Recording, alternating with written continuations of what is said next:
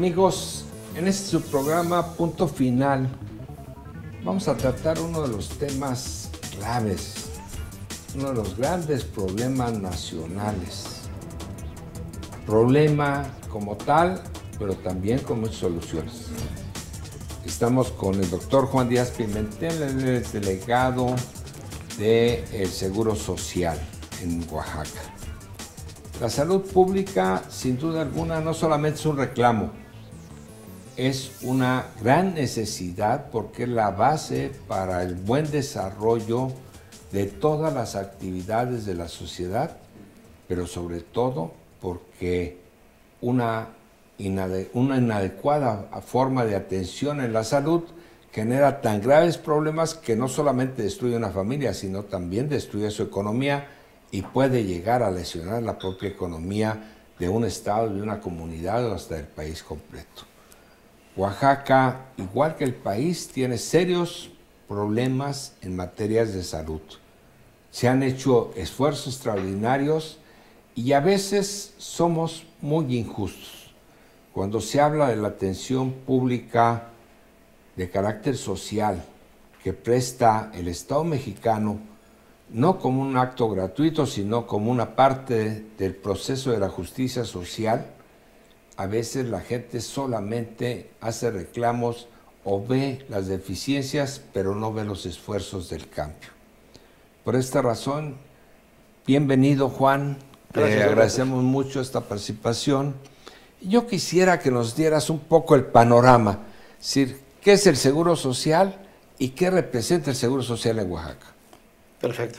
El agradecido soy yo porque me invites y de esta manera pueda yo comunicarme con todo tu teleauditorio, que es vasto.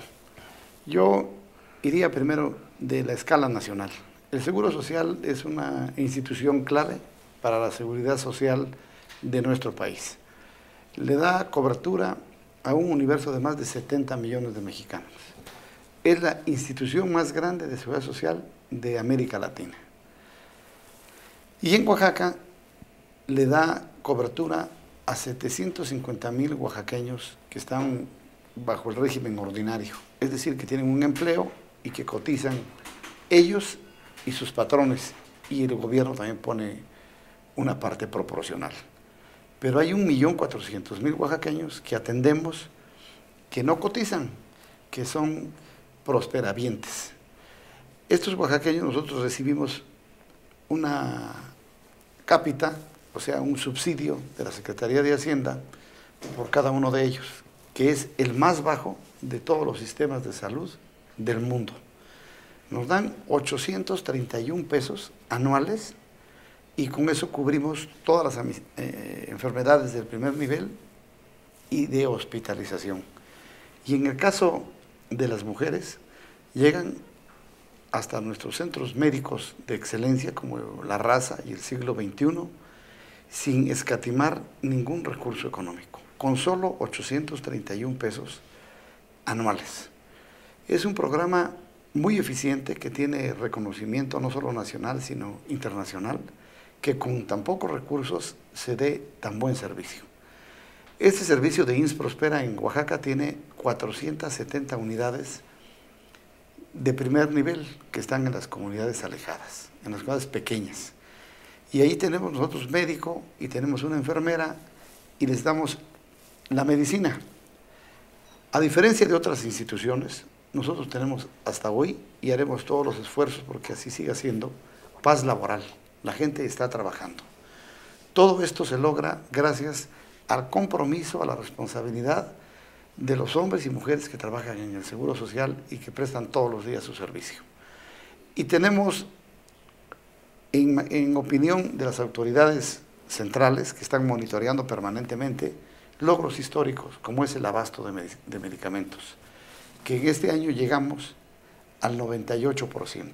Y esto ya es reconocido no solo por nuestras autoridades normativas, que tienen un sistema de monitoreo, sino también por la propia derechohabiencia, que las quejas han disminuido. De un promedio de 30 quejas por mes, bajaron a 17, luego a una en los últimos meses y llevamos dos meses con cero quejas por falta de medicamentos en el surtimiento. y aquí está oyéndonos y viéndonos el teleauditorio, y pueden decir que esto es absolutamente cierto. Entonces, también ha habido mejora en la satisfacción del usuario de cómo lo tratamos, porque tenemos indicaciones, es nuestra obligación tratarlo bien. El eslogan de Seguro Social, de buenas es mejor, con una sonrisa y explicándoles a las gentes. Por supuesto, somos una institución que en algunas instalaciones, como es el Hospital General de Zona de la capital, estamos saturados. Y entonces la demanda del servicio nos presiona demasiado y la verdad, enfermería hace milagros, se deshacen. Van más allá de lo que la norma les indica, de que deben atender a dos camas, no, atienden mucho más, pero es un personal muy comprometido que da lo mejor de sí mismo y allí estamos. Se están haciendo algunas medidas para lograr eficientar el servicio de urgencias. Y hay un servicio que se llama triage, que es una palabra francesa que significa clasificación y que nació en las guerras, en donde ponían un código a los heridos y cuando le ponían un código rojo a alguien es que ya no valía la pena hacerle nada y lo dejaban morir. Y el que tenía código verde pues pasaba para ser atendido. Este sistema lo trajimos a los hospitales, se aplica en, muchos países del mundo y entonces llegan a urgencias y en este módulo, en el TREAS, se tiene que valorar en un tiempo eso es teoría, no lo hemos logrado aún, de no más de 10 minutos. En 10 minutos tenemos que valorarlo y un médico llena un formato y dice si es una urgencia que requiere ser atendido inmediatamente, como un infartado, como alguien que venga desangrándose, con alguien que esté en estado de shock por un eh, aumento o disminución de la glucosa o por una intoxicación este, debe ser atendido de, inmediato. O si puede esperar dos horas, o si puede esperar 24 horas, o si no es una urgencia y el paciente solamente llega a los servicios de urgencia para evitar hacer el trámite en su clínica de adscripción. Tenemos que tener una cercanía con la población y decirles que no se vale usar los servicios de urgencia si no es una urgencia. Nosotros le llamamos a esto urgencias sentidas. La gente siente que es una urgencia, pero no es una urgencia médica. Entonces en este trias se clasifica y se dice, señora, usted tiene que regresar, o señor, a su clínica, el problema que usted tiene es este y no amerita este, ser atendida en el servicio de urgencias. Para que no nos saturen el servicio de urgencias y hagan imposible que seamos eficientes. Y en urgencias deben estar un tiempo y ser ingresados al servicio que les toca si van a ser intervenidos en una cirugía, si van a ser hospitalizados, conseguirles una cama. Nosotros estamos dando el servicio con lo que tenemos. El hospital de Oaxaca tiene 60 años de construido, con una población infinitamente menor a la actual. Y se han hecho una serie de ampliaciones, pero ya no da para más. Nosotros estamos hablando con las autoridades del nivel central para que volteen los ojos hacia Oaxaca, y el 60% o más de las camas de ese hospital las ocupa el servicio de ginecología. Entonces quisiéramos tener una torre de ginecopediatría para que esas camas se nos quedaran desocupadas para enfermedades de tipo general, para neurología, para traumatología, para cirugía general. Ese es un planteamiento que vamos a estar insistiendo hasta que lo hagamos realidad. Mientras tanto, estamos tratando de hacer el manejo de las camas lo más eficientemente posible y tengo reuniones permanentemente con los jefes de servicio y con la directora, la doctora Marta Escobar, y el manejo de las camas de ginecología es muy eficiente. Cuando es un parto normal, que en el lenguaje médico se llama autóxico, pero un parto normal, a las pocas horas, al otro día, se va a su casa y esa cama se vuelve a ocupar. Y si es una cesárea, pues también hay que tenerla muy poco tiempo, no más de 48 horas, ver que la herida esté limpia, que no haya ningún problema y se va a recuperar a su casa y regresará solamente para que se le retiren los puntos. Pero queremos que este hospital no sea de ginecología, sea un hospital que atienda el resto de enfermedades. Y estamos haciendo el esfuerzo por hacerlo muy eficiente en el manejo de las camas para que podamos de urgencias ingresar luego, luego a piso o a cirugía si así lo requiere. Eh, creo que tiene una excelente productividad y tenemos muchas historias de éxito. Hay pacientes que son del régimen INS Prospera, que vienen por una emergencia obstétrica, la principal es la eclampsia, que es hipertensión arterial y otros síntomas que vienen aparejados con ella, como las convulsiones y las hemorragias obstétricas, que son las principales causas de, muerte materna. Y es un gran esfuerzo traerlas desde su comunidad, ya sea Villalta o Juslahuaca, por hablar solo de algunos puntos, o Huautla. Y desde que salen se activa un programa que se llama ERI, que es el equipo de respuesta inmediata. Ya se sabe qué tipo de sangre tiene para que el banco de sangre de Oaxaca esté preparada para la transfusión. Se sabe si requiere del servicio de un equipo quirúrgico, ya están los cirujanos, todo empieza, el mundo empieza a decir en el WhatsApp, equipo quirúrgico eh, enterados y listos, banco de sangre enterados y listos, y hay una cama en terapia intensiva.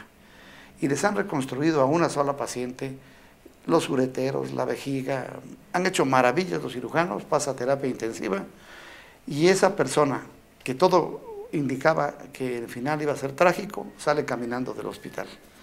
Yo le he pedido al doctor eh, Juan Carlos Dávila, que es el jefe de terapia intensiva, y que no es comercial, pero es de verdad un magnífico médico, un excelente médico, que me documente todas esas historias de éxito, porque vale la pena decir lo mucho de bueno que hacemos, porque cuando hacemos algo mal, los detractores de siempre se encargan en magnificarlo y divulgarlo.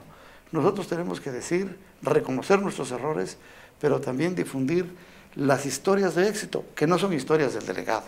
No estoy hablando de mi persona, sino son del personal del Hospital General de Zona, enfermeras, laboratoristas y cirujanos y el personal de terapia intensiva. Ahorita mismo está internada en el hospital una paciente de nombre Juquila. Ella tiene una pancreatitis y aparte tiene complicado el hígado se trajo un equipo que se llama Prisma para hacer hemodiálisis allí en terapia intensiva, sin moverla a, otro lugar en donde están las salas de los equipos de hemodiálisis. Es muy incómodo sacar a alguien que esté en terapia intensiva con soluciones, entubado, llevarlo a otro servicio. Entonces, este equipo Prisma es una máquina de hemodiálisis que hace la función del riñón, pero allí mismo en terapia intensiva. Y el servicio Mars, que es para limpiar el, hígado. Bueno, esto les está costando un dineral al Instituto Mexicano del Seguro Social, pero la señora Juquila ya empezó a reaccionar, ya empezó a orinar. Eh, quiere decir que ya está funcionando el riñón, ya empezó a funcionar mejor el hígado y sus niveles empiezan a bajar de creatinina normal y creo que va a ser otra historia que van a tener que presumir los médicos del Seguro Social. A ver, Juan, vamos a un corte comercial y vamos a continuar con esto. Es muy importante no solamente reconocer los errores, sino también que nosotros conozcamos las buenas cosas. Vamos a un corte y regresamos. Estamos con Juan Díaz Pimentel.